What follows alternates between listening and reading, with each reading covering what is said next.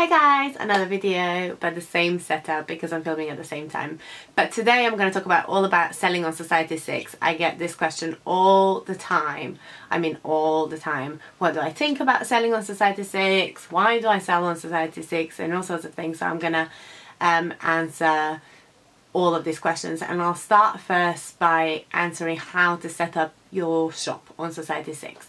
Now if you're just starting out and you want to sell your prints or designs or illustrations I think Society 6 is the best website to start at because all you need is your designs, you need to scan them or if you do them digital you just save them as JPEG um, and that's it. You just upload them to the website and they print it on all sorts of different um, designs. You just need a PayPal and obviously an email address and nothing else. You're good to go. And you can start selling. So that's a great thing about Society 6 is because it's so easy. It is incredibly easy. Um, some of the designs you will need to adjust them for different products but you can check out that on their website. Put the links down below in the description so that can help you out the second question I get a lot is do I think that it's good to sell on Society 6 and why do I sell? I think Society 6 is amazing. Uh, it makes my life so much easier. I am also able to um, offer uh, people in America um, you know faster shipping they you can set up your margins for prints but not for other things which kind of is annoying because the margins on other sort of products is not that high but I think it all adds up the more sales you have so it adds up. I do earn a good amount of income from Society 6 so I think that's really good.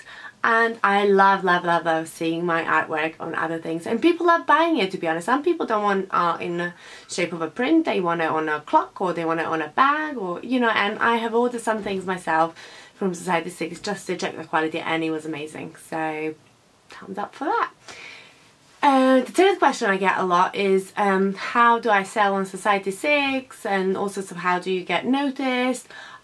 To be honest, I have no idea. I have heard that people use bots to get likes. I think you have to have about 30 likes on each post for it to show in a Society 6 shop because you have your own shop on Society 6 but then you have a completely different they have their own shop so if people are searching on their shop they won't be able to find it if you don't have a lot of likes but I sort of get likes just randomly. I don't use any bots. Um, I see people having 10,000 likes. I have no idea how that's possible.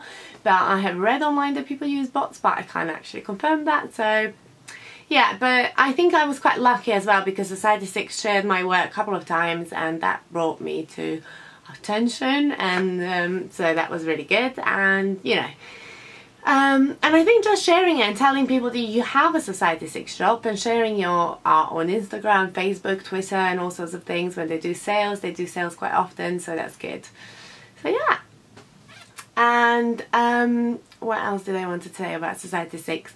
So overall, seriously, I have nothing bad to say about Society 6. I think um, it's a really, really good website. I have been on Society 6 for a while, I think, for about a year, but I haven't really put so much effort into it until like recently like in the last like six months and that's when I seen like increase in sales and stuff I don't know if people who are buying are people from Instagram or not but it's great to see you can see what you sold you can see all the popular items so it gives you some idea of what people like and what's really good about it is that actually I noticed that people who the artworks and designs that I sell on Society 6 are completely different than on Etsy. So um, I think it's a different set of people that um, that buy on Society 6 which is great because some of my designs are a bit quirky and sometimes Etsy is not really user friendly for quirky designs. I think, you know, not to offend anyone but you know so yeah, if you haven't tried selling on Society 6, I would definitely, definitely recommend. Give it a go. It's really easy. You have nothing to lose,